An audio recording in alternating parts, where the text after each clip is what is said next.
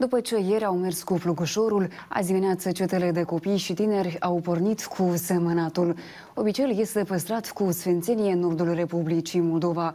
În prima zi a anului, colindatorii se îmbracă în veșminte tradiționale, iar în traiș se pun boabe de grâu pentru a ura gospodarilor sănătate și belșug. Și așa cum cere tradiția, gazele îi răsplătesc cu bucate alese și bani.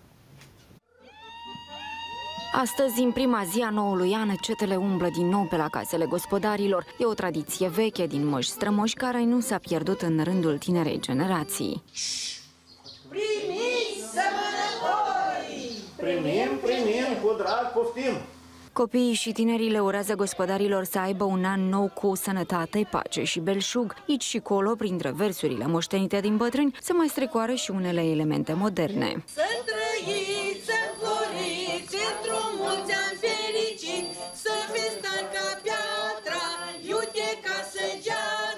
Mulțumim frumos că ne-ați spășit pragul în noul an și ne-ați urat de sănătate, de bucurii, de belșug, de pace în țară. Am pregătit pentru ei vin roșu, alb, de tot felul. Conform tradiției, se spune că cu câte mai multe boabe de grâu le prindem în mână, cu atât a să avem puișori de găină mai mulți la noi în curte. Colindătorii vor merge cu semănatul și pe 14 ianuarie, când se sărbătorește Sfântul Vasile pe stil vechi. Mergem cu ceata de semănători, coșul plin de boabe, să le urăm gazdelor, sănătate, să le urăm belșug, dragoste de țară, dragoste de plaie, dragoste de tot ce este frumos. Ne bucurăm că aducem zâmbete în casa oamenilor. La mijlocul primăverii, la anul și la mulți, mulți ani!